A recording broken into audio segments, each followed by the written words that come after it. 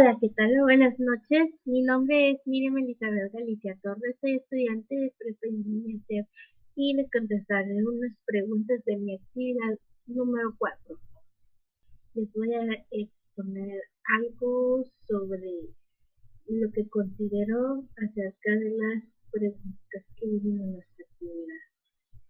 ¿Cuáles son los recursos que se requieren para llevar a cabo un proyecto es el más importante y por qué. Bueno, en primer lugar, considero yo que plantear bien lo que se va a realizar en el proyecto y mantener firme la ideología que este tendrá, porque cuando se crea un proyecto es porque tiene una intención y esa intención va dirigida a cierto público. No todos los proyectos son para el público en general algunos irán para niños pequeños, a más jóvenes, a, los adultos. Este, es importante definir a qué público se dirigirá nuestro proyecto y las intenciones que este lleva. Otras preguntas.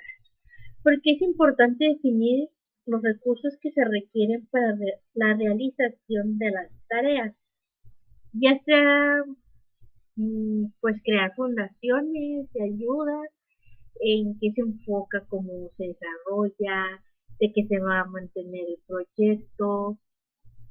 O sea, sí es importante definir los recursos que estos requieren para la realización.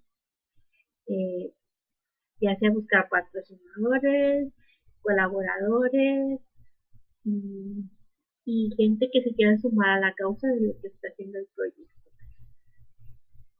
Bien, otra dice, ¿cuál es la utilidad de un diagrama de flujo de los procesos que implican la realización de las actividades? Bien, eh, yo considero que una de las ventajas de usar el diagrama es que pues podemos tener un poco más claro el orden de lo que se va a hacer, lo que va a seguir, eh, palabras cortas que nos ayuden a agilizar el movimiento, a, a, explicarles a las otras personas de lo que trata nuestro proyecto y de lo que queremos hacer. Este, por otra parte, otro punto que yo considero que es ah, pues importante sería que es como como si nos como si el diagrama flujo nos permitiera resumir un poco el tema de lo que queremos expresar de nuestro proyecto y, explicarlo como lo acabo de decir, explicarlo más sencillo para las personas.